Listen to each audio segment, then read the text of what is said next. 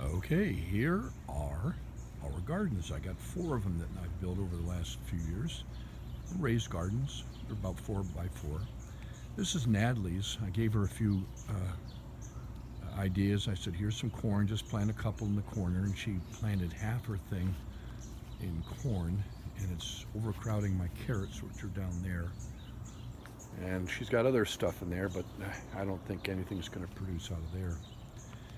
Uh, this is Michael's. He didn't plant anything, but I call it Michael's garden. So a couple corn there. You can see my watering system. This is in every single one.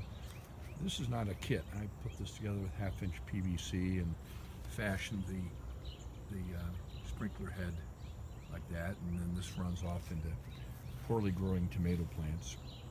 We're just uh, moments away from the liftoff of the, there it is. I just heard it turn on. This is my garden. This is uh, Steve's garden. There's the water coming in. I spotted the first ear of corn. How did that go? Well, there's one right there that's starting. There's another one that was a little more prominent.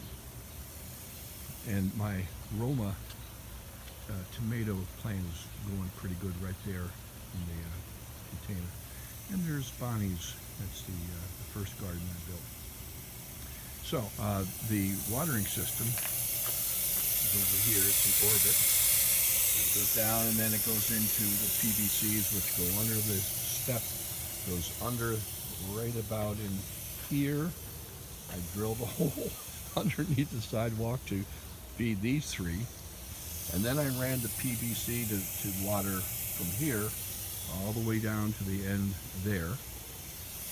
And then it comes over here and I water this garden. I got to do a lot of weeding here. It's been so humid here. All these weeds just pop up overnight. So, uh, and then it goes underneath here into Bonnie's garden. But then I, I wasn't satisfied and I, I wanted my hanging flower plants to receive water. So here's my fuchsia. You can see it's dripping.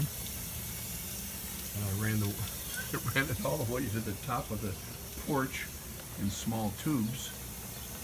And so all my hanging plants feed. The problem is that, you know, I, I got to reduce the, uh, the drip on it.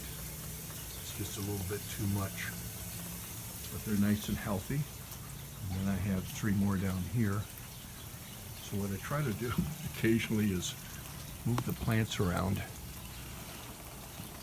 I got to come up with a little better system to recycle this water uh, I'll work on that next year. And then these two over here are pretty. You can see the water just running down the edges.